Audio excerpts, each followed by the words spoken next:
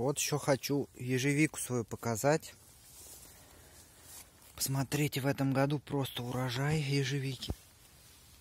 Вот видите, вот она там еще внутри. Много-много ее. Тут я уже поел частично. Вот видите, она растет сама, уход за ней никакой не нужен. Так, только в этом году пропололи, чтобы трава была ниже нее. И ну, как порубили чуть-чуть, видите, вон сколько.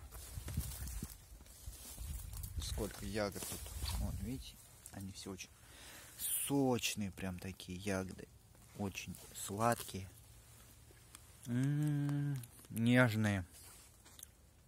Видите? Ежевика растет сама. Она растет вот под деревом.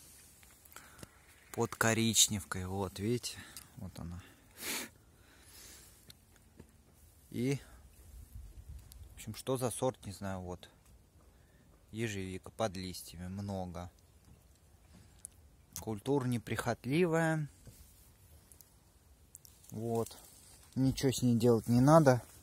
Надо только следить, чтобы лишняя ежевика не вырастала и не заполоняла как бы то, чего не надо. И все. Культура идеальная. Посадил и забыл. Ну, иногда можно подвязывать. Все, больше ничего не надо. Вот первый год мы туда положили солому с навозом. Все. И получили. Ну, а этой ежевики уже как бы больше 50 лет. Она старше меня. Вот.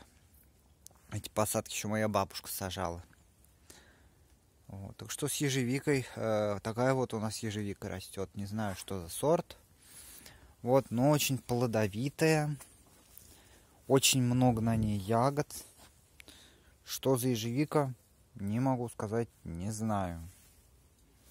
Причем растет даже, вот видите, так вот переломанная, поломанная в 10 местах, все растет. Все просто, я не знаю, шикарно растет. Ну, а про ежевику, про посадки ежевики, видите, она как попала, лежит, ей все равно. Все равно дает урожай. Урожай вон прекрасный. Если я сейчас вот туда вниз подсуну, видите количество ягод, да? Вот. Ну ладно, про ежевику все.